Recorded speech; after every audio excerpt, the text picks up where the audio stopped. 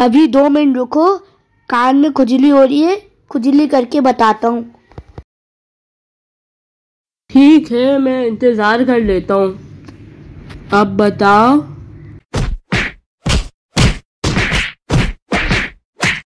जब देखो मुझे पीटता ही रहता है। कैसा दोस्त है मेरा।